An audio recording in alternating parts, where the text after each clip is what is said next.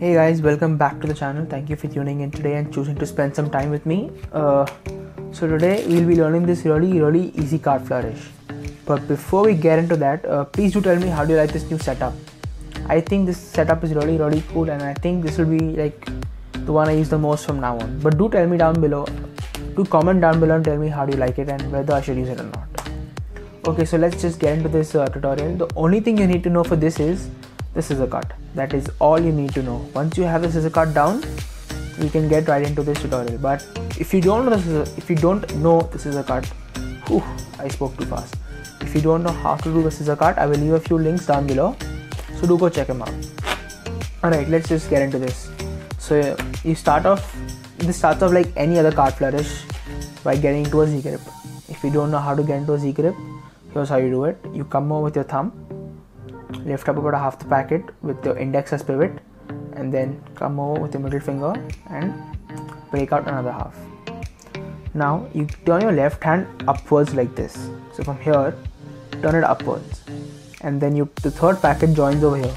So now you create this nice triangle shape, right? So you turn it over, connect it. Now with your middle finger, you break off another packet. You extend on top of your and connect it between the two thumbs like this to create this square.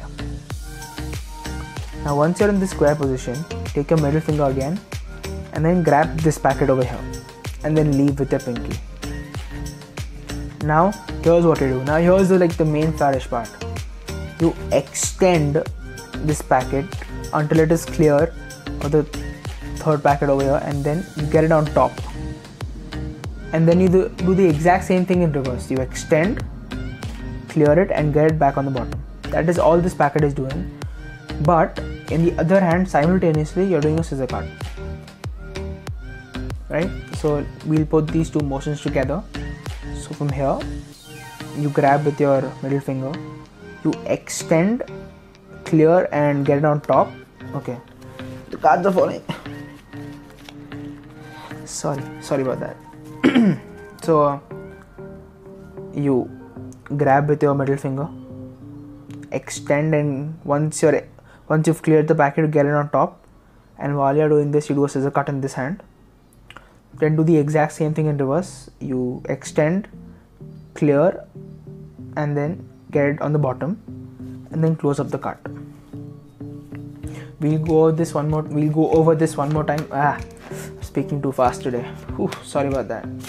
So we'll go over this one more time. Z grip turn this hand over connect with pinky. Now break off a packet and connect it between two thumbs.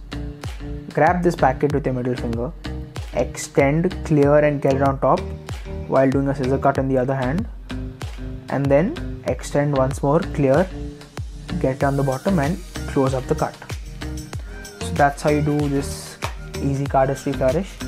Uh, I forgot the name of it but I'm just gonna call it easy cardistry, cardistry flourish. So um, that was a quick tutorial. I hope you guys enjoyed it. And again one and once again I want to thank you guys for getting me to 100 subs. It's been a great journey and yeah it's taken me two years to get to 100 subs so uh, thank you guys and I will see you all next time. Bye